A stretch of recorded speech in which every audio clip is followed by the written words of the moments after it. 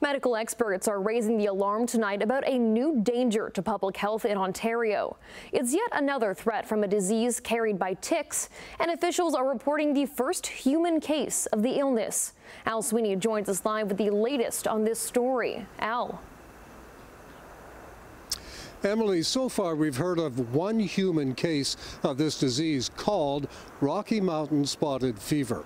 Officials in Quebec say one person was diagnosed there with the disease. They were treated with antibiotics and they're doing well. But the disease has also turned up here in Ontario in dogs, killing at least one locally. At a local dog park in Burlington, people are already treating their dogs to prevent Lyme disease spread by ticks. Now there's Rocky Mountain spotted fever. Very scary. I've never heard of it before. There's all kinds of new stuff coming up. The spotted fever is fairly common in the United States, but officials say, along with the Quebec case, it's now been found in an area of Ontario's Long Point on Lake Erie, spreading at least partly because of climate change.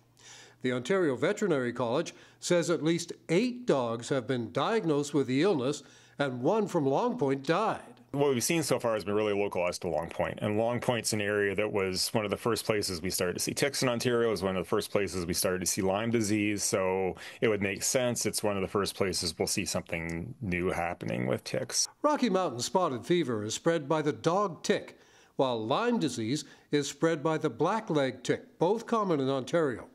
And the same ticks that infect dogs can infect people.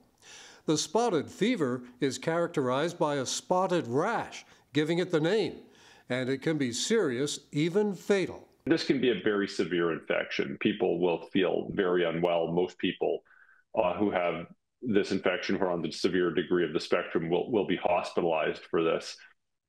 It can cause organ failure. It can have central nervous system manifestations, heart, lung, liver, kidney manifestations. They say it can be treated effectively with antibiotics, but being a new disease, there could be a delay in diagnosis. It is generally one of the more severe tick-borne diseases that we consider um, in terms of infectious diseases. So it can be very severe and potentially even fatal if it's not recognized promptly or treated promptly. This is the new normal for us when it comes to ticks and tick-borne disease. The experts say the ticks are here and Canadians will have to up their game in terms of tick awareness. It's not a doomsday scenario. If you look in the US, they have areas where they have a lot more ticks and a lot more tick borne disease, and they obviously do well.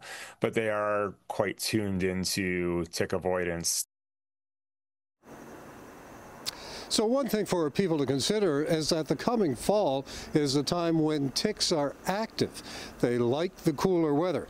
Now the Grand Erie Public Board, Public um, Office of Health and the uh, other departments have information online about what to do with ticks, how to remove them safely, and and what to do if your dog is bitten. We have a link to that on our website at chch.com.